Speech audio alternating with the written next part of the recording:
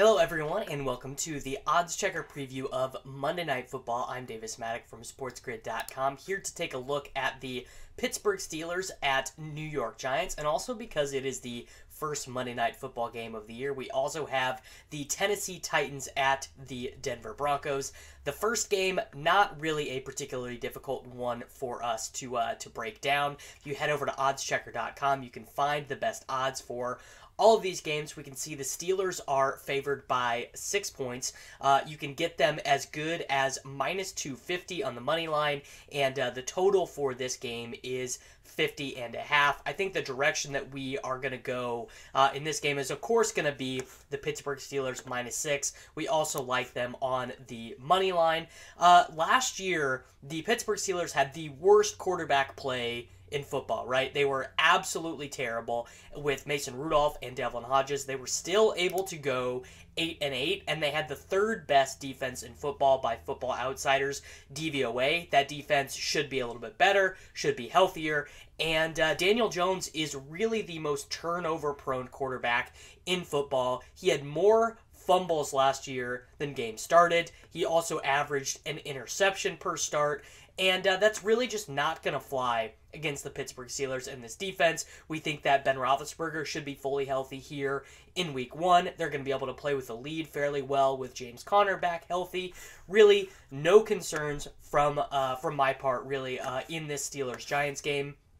I think that you can bet them minus six comfortably. I obviously think that you can bet the money line comfortably. As far as the total, I don't love either side. Uh, I definitely would lean under because I think that it's going to be very hard for this New York Giants team to score when the game is close. However, uh, I do expect Daniel Jones to be in there firing in the fourth quarter, racking up some of those garbage time stats as he was able to do uh, a couple different times last year as well. So our selections for Steelers Giants is uh, we like uh, the Steelers minus six on the spread. Of course, we like them on the money line and a slight lean towards the under here as well. Uh, Titans Broncos to me is a much more difficult game to pick because so much of our information and data that we have on this Titans team is really related to, you know, just how great Ryan Tannehill was for a short stretch last year. From the time Ryan Tannehill took over uh, until Mark after Marcus Mariota was injured,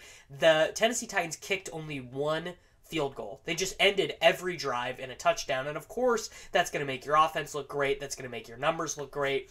And, uh, you know, we are actually going to go with the Denver Broncos and the points here. Uh, Denver was the 13th best defense by DVOA last year. Uh, they, of course, get the home field advantage playing at Mile High Stadium. Uh, and that is, that actually does seem to be one of the legit uh, home field advantages that exist outside of refereeing decisions in the NFL. Uh, I do not feel as strongly about this one as I do about the Steelers minus six. You know, uh, the the Titans with uh, with Derrick Henry, with AJ Brown, they just have the ability to really perplex the stat nerds with how easy they are able to score touchdowns. But we do like the Denver Broncos here at plus three. I think the money line is break even. Uh, I would rather just bet the plus three at even money.